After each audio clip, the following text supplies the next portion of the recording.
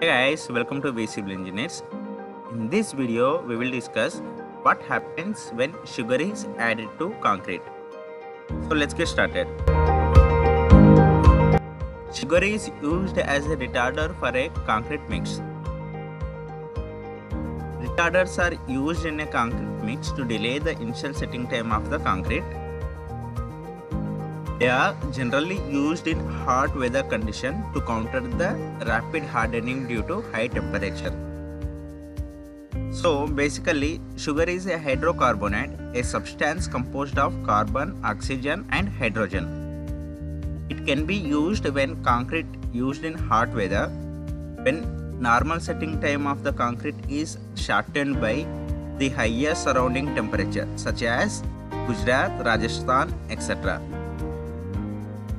Sugar based solutions are sometimes added to the mixture when workers needs to keep concrete moist. For example, when we are transporting the ready mix concrete from the ready mix plant to the site, they can add the sugar to delay the initial setting time of the concrete. The setting time of the concrete increases with increase the percentage of the sugar up to 0.06 percentage.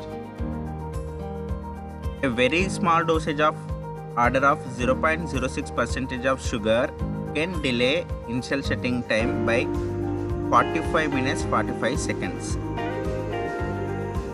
The delay in setting of concrete could be useful in preventing cold joints and in reducing early setting of cement in hot weather concreting. Sugar, when used in correct proportion, it acts as retarder, but when it is used in excessive amount, it reverts its property, which means it acts as an accelerator. In the research, it is found that sugar above 0.08 percentage by weight of cement accelerated the setting time with nominal gain in the initial strength. Excessive volume expansion was noted in the sample as cracks were formed in the sample itself.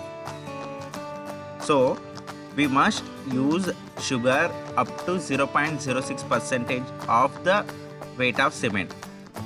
Beyond that, it acts as an accelerator, which means it reverses its properties. So, a careful use of sugar can be economical in comparison to commercially available set retarders.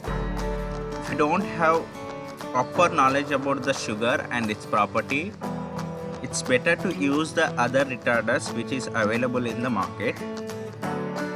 But if you can add only up to 0.06 percentage of the weight of cement, then it can act as a retarder. Okay so that's all for today guys. Thank you thank you for watching